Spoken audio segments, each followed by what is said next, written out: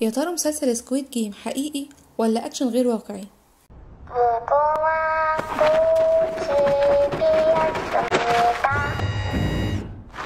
Squid Game أو لعبة الحبار المسلسل الأشهر دلوقتي على منصة نتفليكس اللي بيحكي عن مجموعة من الناس اللي عليها ديون بيجتمعوا مع بعض في جزيرة ومطلوب منهم إن هم يشاركوا في ست ألعاب مختلفة عشان في الآخر اللي هيفوز هياخد مبلغ بالمليارات يقدر يسدد الديون اللي عليه وكمان يعيش غني طول حياته ومن هنا بيبدأ الصراع الإنساني والنفسي والشر اللي جوه كل إنسان فينا بيظهر ويبدأوا يقتلوا بعض سواء المشتركين أو الجنود اللي مطلوب منهم ينفذوا الأوامر دي. لحد ما تكتشف إن اللعبة أساس فكرتها مجموعة من الأغنياء زهقوا وعايزين يستمتعوا ويدخلوا عوامل إثارة جديدة في حياتهم فقرروا يعملوا اللعبة دي ويستمتعوا بقتل البني آدمين دول. المسلسل هنا بيناقش في الأساس فكرة معينة وهي إن الناس اللي عندها فلوس وسلطة ما عندهمش مشكلة يستمتعوا بعذاب اللي قدامهم من أجل المتعة الشخصية.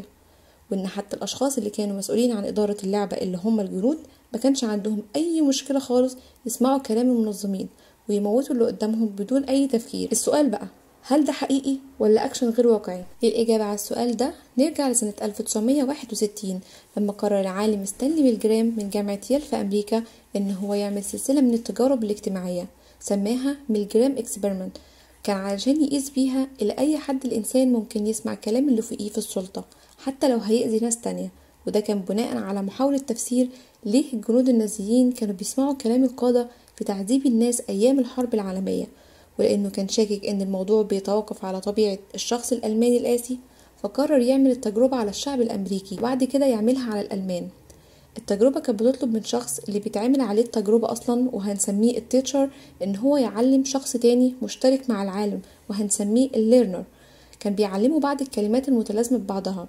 الاتنين دول المفروض بينهم حيطة عشان ما يقدروش يشوفوا بعض. لما كان الشخص التاني بيغلط كان بيبقى مطلوب من الشخص الأولاني اللي هو ال teacher إن يدوس على زرار ويصعقه بالكهرباء. Correct phrase is rich boy. طبعا الحقيقة إن ما كانش أصلا بيتصعق بالكهرباء ولا حاجة إنما مع ذلك كان بيبقوا مسجلين صوت للصعقة وبيتظاهر الشخص التاني إنه بيتصعق فعلا وبيتألم. ومع كل غلطة كان مقدار الصعقة بتزيد شوية بشوية. من أقل فولت وهو 15 لأعلى فولت وهو 450 مع إن الشخص الأول اللي هو ال teacher كان متخيل فعلا إنه بيدي صعقة حقيقية ففي ناس كتيرة جدا استمرت بالتجربة. واللي كان بيعترض منهم كان العالم ستانلي أو عالم مساعد تاني بيقوله لو سمحت كمل. ولو استمر في الاعتراض كان بيقوله أنت لازم تكمل. ولو استمر تاني في الاعتراض بيقوله مفيش حل إنك لازم تكمل. ولو استمر بالاعتراض التجربة هنا كانت بتقف. نتيجة التجربة في الآخر بالرغم من إنه اتعمل استبيان قبل ما تتعمل التجربة على ناس عادية وعلماء تانيين طلبوا منهم يتوقعوا كام في المية من الناس هتستمر في التجربة لحد الآخر. وكانوا متوقعين إن مش أكتر من 3% بس اللي هيكملوا التجربة للآخر ويوصلوا لأعلى فولت اللي هو 450 فولت اللي هو أكيد الفولت ده قاتل للإنسان. بس هنا كانت مفاجأة. التجربة وضحت إن حوالي 65% من الناس اللي اشتركوا استمروا لحد 450 فولت. وحوالي 100% بس وصلوا ل 300 فولت. فالحمد لله إن ما كانش صعقة حقيقية. ولأن النتائج دي كانت مفاجأة للعالم ستانلي فقرر إن ملوش لازمة يعمل التجربة على الألمان وإن واضح إن الموضوع عام وملوش علاقة بطبيعة شعب معين. Well, we'll. وتيجي سنة 1971 ويبدأ عالم نفس اجتماعي اسمه فيليب زمباردو في جامعة ستانفورد في أمريكا. بدأ يفكر في تجربة جديدة. دكتور فيليب كان في سؤال مهم جدا بيشغل باله ومش لاقي له إجابة. هو إحنا بنتولد فعلا أشرار ولا الشر ده ممكن ينشأ نتيجة السلطة والقوة اللي بناخدها من موقف معين؟ السؤال ده جه باله هو وعلماء تانيين. لما بدأوا يتعمقوا في موضوع التعذيب والتعديات اللي كانت بتحصل من الحراس ناحية المساجين في السجون في أمريكا. دكتور فيليب والعلماء اللي كانوا معاه كانوا مقتنعين إن السلطات والصلاحيات اللي بتتاح للحرس هي اللي بتحولهم لوحوش وبناء عليه قرروا يعملوا التجربة دي.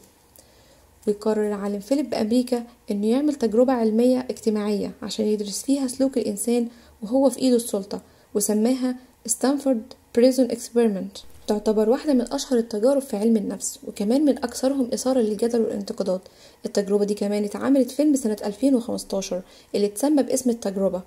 التجربة بدأت بإنه عمل إعلان في الجورنال إنه عايز رجالة يشتركوا في تجربة اجتماعية تقريبا لمدة أسبوعين وهيديهم في اليوم 15 دولار.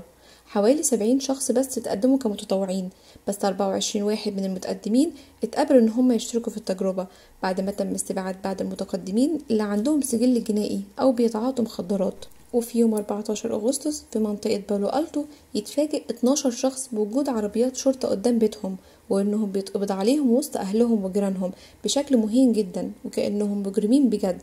طبعا محدش كان متوقع الكلام ده وكل حاجة كانت أشبه إنها واقعية.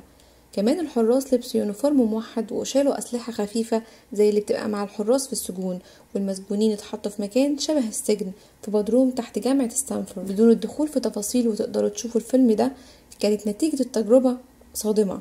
التجربة كانت من المفترض تكمل أسبوع أو أسبوعين بس اللي حصل إن هي انتهت في سادس يوم بسبب الانهيارات النفسية اللي مر بيها المساجين.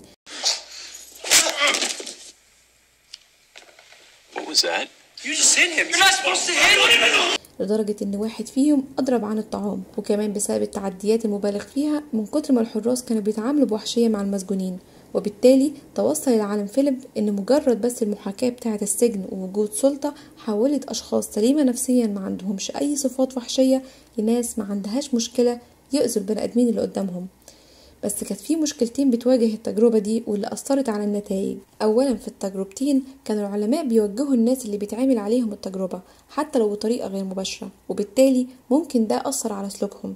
ثانيا مع إن الناس اللي كان بيتعمل عليهم التجربة كانوا عارفين إنهم متراقبين واللي كان المفروض ده يخليهم يتصرفوا بطريقة أحسن بس بمجرد من العالم ما اتدخلش لما سلوكهم ابتدى يتغير ويبقى وحشي ده ممكن يكون خلاهم متوحشين أكتر لأنهم اتأكدوا في الوقت ده إن مفيش عقاب. في النهاية التجربتين دول بالرغم من المشاكل العلمية اللي فيهم إلا إن هما بيدوا انطباع عن تأثير السلطة وعن النفس البشرية بجوانبها السيئة والشر المدفون جوا كل واحد واللي يقدر يطلع لو ما حكمتش النفس البشرية الدين والقوانين. ففي الوقت اللي بتتفرج فيه على Squid Game ومش متأكد هل ده ممكن يكون حقيقي ولا لأ افتكر الآية الكريمة اللي بتقول ونفس وما سواها فألهمها فجورها وتقواها. قد أفلح من زكاها وقد خاب من دساها.